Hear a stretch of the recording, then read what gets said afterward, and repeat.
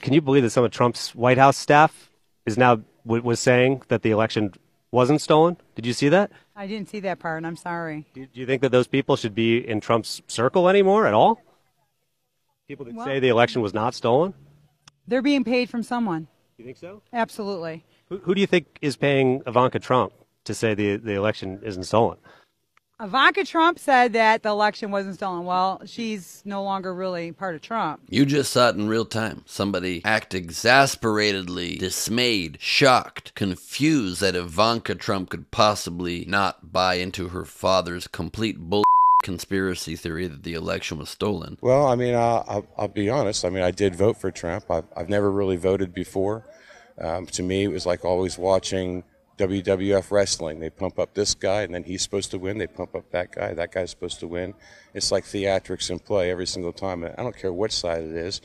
They all just go blah, blah, blah, blah, blah, blah, and do whatever it is that they're going to do. So you voted in the last election. Do you accept the results of the last election? You know, unfortunately, I'm probably one of those election deniers that the people talk about. But I also wear red, white, and blue, which, according to some people, makes me a.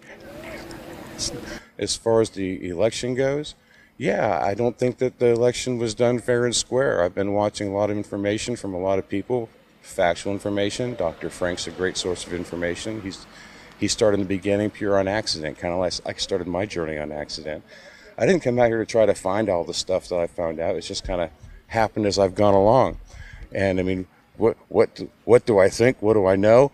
I mean, gosh, if I talk long enough, just about anybody could think I'm absolutely crazy. My vote was stolen. Okay, eh, may I? Okay, okay, all right. so me, actually. I will.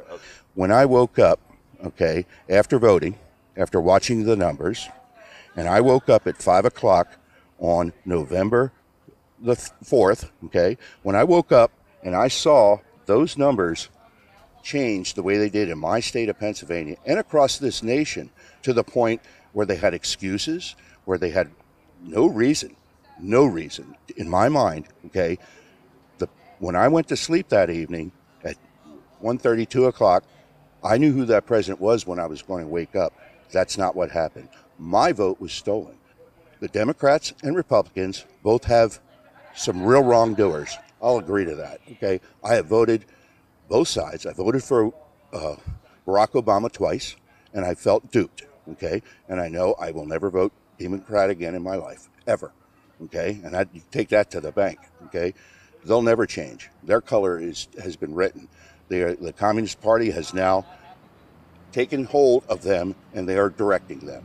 And people have got to wise up, and they need to do their research, and they need to understand that the the truth, the real truth, is out there. Let's talk about President Biden. How you feel about the 2020 election? Do you think he is the legally elected president? He's not my president. Explain that to me. he's he's not. He, he's illegal. Um, it's uh, shadow government. He's not my president. You know, I, I find that compelling uh, for obvious reasons. What, what about like so? What's the shadow government, and how is is he not your president because he wasn't legally elected, or because you didn't want him to be president? He wasn't legally elected. How did he get elected? He didn't. He got selected. And who did who did the selecting? The swamp. But what about the votes? The, the votes that were you know that he had more votes. How did that matter? Yeah, that mattered. It was done illegally. And did you feel that in Pennsylvania? Yeah. In what way? The the the ballots, the the you know the the um in the middle of the night, you know, all that. So you think that meant that he didn't really win because something happened in the middle of the night? Yeah, what do you think? The fact that anybody still thinks the 2020 election was stolen, it's embarrassing. It's wildly embarrassing. But that definitely doesn't stop them. A little embarrassment never stopped a Trump supporter from anything, and you do have to hand them that. Happy birthday to ya. Happy birthday to ya. Happy birthday. Keep saying it because in the middle of the night, I went to bed and I woke up and the vote totals were different. When I went to sleep that evening, I knew who that president was when I was going to wake up.